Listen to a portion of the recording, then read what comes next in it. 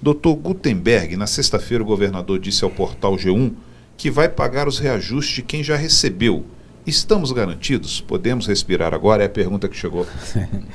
o Valdir, caro internauta, eu até comentei isso anteriormente. Isso é uma pegadinha de comunicação do nosso ilustre governador. Ele tem dito que vai pagar os, os reajustes. Os reajustes hoje são constitucionais.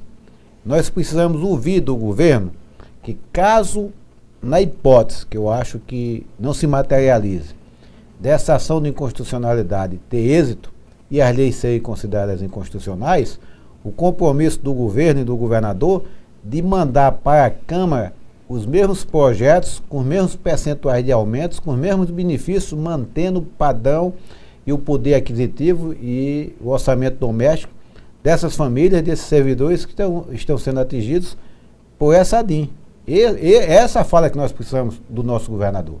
Não é que vai cumprir a lei. Quando ele diz que vai cumprir a lei, se ela for considerada inconstitucional, ele vai cumprir a lei. Nós precisamos é ouvi-lo é, verbalizar que, caso seja considerado inconstitucional, ele vai corrigir e vai mandar, manter o mesmo padrão salarial do servidor.